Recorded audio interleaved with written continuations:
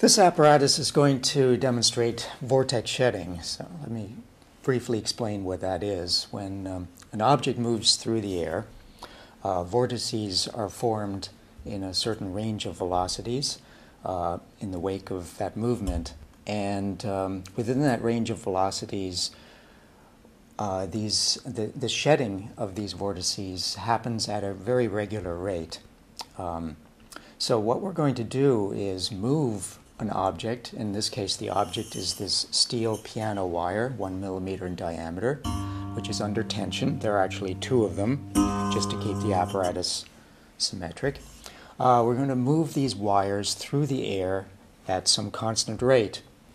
And when um, these vortices are shed, then um, that frequency at which it happens is going to be audible.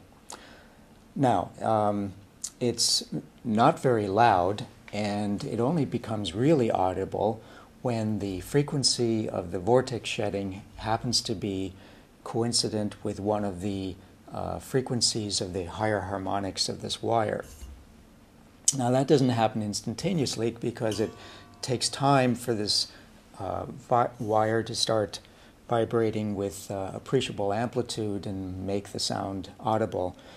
Um, so as we move through from one speed to the next, um, it will take a little bit of time for this uh, the volume uh, to build up, and then we will hear uh, a sound, which is the vibration of the wire, but that uh, frequency that we hear is the same as the vortex shedding.